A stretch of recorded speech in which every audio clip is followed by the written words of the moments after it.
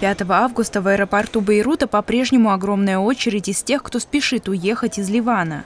По меньшей мере шесть стран призвали своих граждан покинуть регион из-за угрозы эскалации между Ираном и Израилем. Тем временем в иранском МИДе сообщают, что не хотят эскалации, но стабильность в регионе будет возможна только, цитата, «при условии наказания агрессора». Никто не может сомневаться в законном праве Исламской Республики Иран наказать агрессора и создать сдерживающий фактор против узурпаторского режима агрессора. Власти в Иране считают, что Израиль причастен к убийству главы политбюро Хамас Исмаила Хании в Тегеране 31 июля. Местный телеканал ИРИП передает, что в парламенте страны уже раздаются призывы ликвидировать Беньямина Нетаньяху – а американское издание Axios со ссылкой на официальных лиц США и Израиля сообщает, что удар со стороны Ирана может быть нанесен уже в понедельник 5 августа.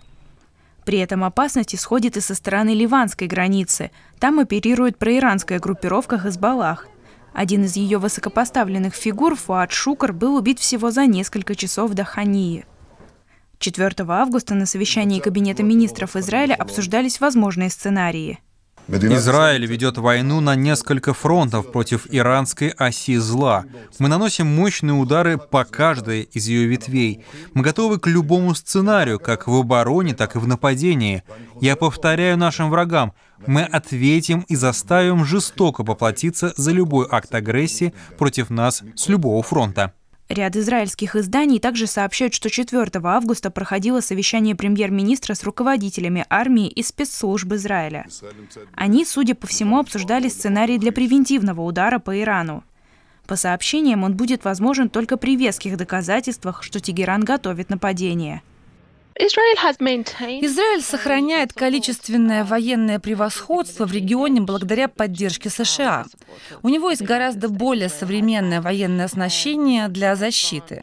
Но не стоит забывать, что с точки зрения размера стран и размера вооруженных сил между Израилем и Ираном есть асимметрия.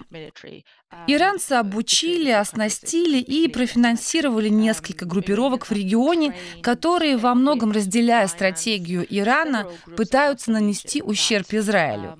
Так что ситуация для Израиля не самая благоприятная.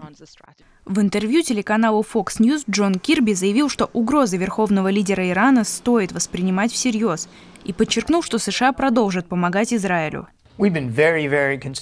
Мы были очень последовательны в нежелании видеть эскалацию. Мы также очень последовательно доказывали, что мы собираемся встать и защитить Израиль.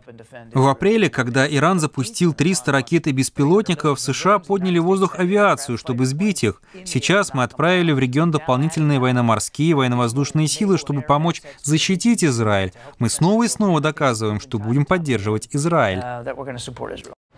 По другой версии, как сообщает Sky News Арабия, удар со стороны Ирана может состояться в ночь на 13 августа.